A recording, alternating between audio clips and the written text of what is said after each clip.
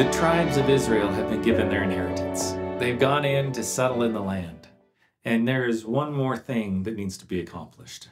Joshua 21 tells us Then the heads of the fathers of the houses of the Levites came to Eleazar the priest, and to Joshua the son of Nun, and to the heads of the fathers' houses of the tribes of the people of Israel. And they said to them, The Lord commanded through Moses that we be given cities to dwell in, along with their pasture lands for the cattle. So, by the command of the Lord, the people of Israel gave to the Levites the following cities. And as you read through these cities, they're scattered throughout the land.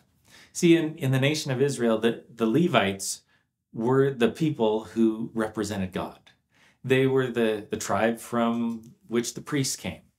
And so God scatters them throughout the nation of Israel so that no matter where you lived, you would feel close to God. That no matter where you lived in Israel, even if you were in the farthest tribe away from the tabernacle or later the temple, you would have a city with priests and Levites in it, a place where you could feel connected to God no matter where you were at.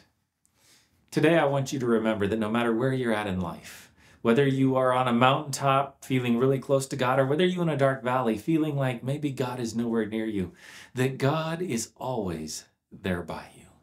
That He is always close and, and near, that He will never leave you, He will never forsake you. So if you are in a in a moment in a valley of discouragement and it seems like God is far off, take comfort. He is closer than you may think.